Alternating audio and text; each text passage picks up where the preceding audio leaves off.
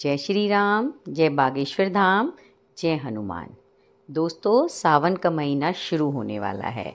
सावन का महीना बड़ा ही पवित्र महीना होता है और सावन के महीने से पहले अगर आप अपने घर पर एक चीज़ ले आते हैं तो आपके पास पैसों की बरसात होगी। यानी कि छप्पड़ फाड़ कर पैसा आएगा। दोस्तों, सावन का महीना बड़ा ही पवित्र महीना होता है और ऐसा कहते हैं कि इस महीने में भगवान भोलेनाथ कैलाश पर्वत को छोड़कर पृथ्वी पर विचरण करते हैं। और जो भगवान भोले के भक्त हैं, भगवान शिव के भक्त हैं, उनके लिए तो ये महीना बड़ा ही आनंददायक होता है, बड़ी ही खुशियाँ देने वाला होता है।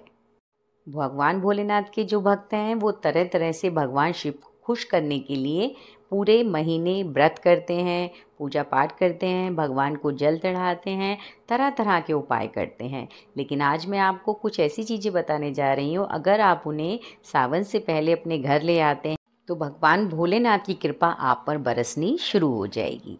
लेकिन इससे पहले अगर आप हमारे चैनल पर नए हैं तो हमारे चैनल को सब्सक्राइब और हमारी वीडियो को लाइक करिए, ताकि आप भी हमारे सनातन परिवार का हिस्सा बन सकें।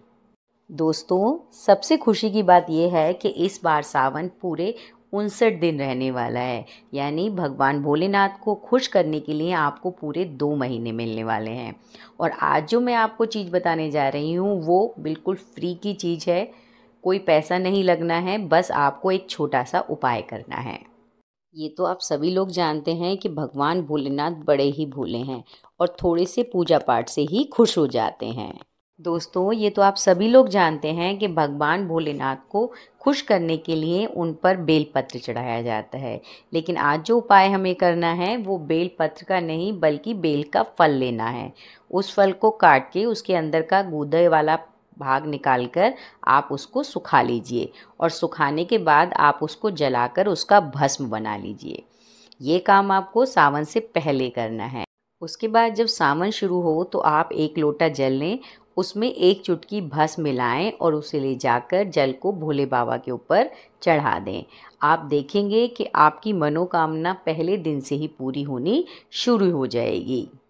और ये काम आपको पूरे सावन करना है। भगवान शिव को खुश करने के लिए आपको ये उपाय पूरे सावन करना है।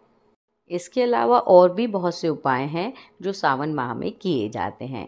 अगर आप रुद्राक्ष धारण करने की सोच रहे हैं तो आप सावन के महीने में रुद्राक्ष धारण कर सकते हैं। इसके अलावा आप अपने घर में डमरू लेकर आइए और उसे भगवान शिव को चढ़ाइए। इससे भी भोले बाबा बहुत खुश होते हैं। इसके अलावा आप सावन माह में गंगाजल घर लेकर आएँ और गंगाजल भी आप भगवान भोलेनाथ को जल चढ़ाते हुए उसमें मिला लें। इससे भी भगवान भोलेनाथ बहुत खुश होते हैं। इसके साथ साथ आप एक त्रिशूल भी अपने घर ज़रूर लेकर आएँ, क्योंकि त्रिशूल घर लाने से जो नकारात्मक शक्तियाँ होती हैं, वो घर में प्रवेश नहीं कर पाती। और अगर पहले से ही घर में कोई नकारात्मक शक्ति है तो वो बाहर चली जाती है। और इसके अलावा अगर आप सावन माह में एक छोटा सा शिवलिंग अपने घर लेकर आते हैं तो इससे अच्छा तो कुछ है ही नहीं। क्योंकि अगर आप रोज़ाना मंदिर नहीं जा सकते तो आप अपने घर पे ही शिवलिंग पर जल चढ़ा सकते हैं। तो दोस्तों, ये वो कुछ चीज़ें हैं, जिन्हें आप अगर सावन में अपने घर लेकर आते हैं तो आपकी सभी मनोकामनाएँ पूरी हो जाती हैं। साथ ही साथ, आप पर धन की भी बरसात होती है। भगवान भोलेनाथ की कृपा बनी रहती तो दोस्तों, ये कुछ छोटे छोटे उपाय हैं, जिन्हें करने से भगवान भोलेनाथ की कृपा आप पर बनी रहेगी।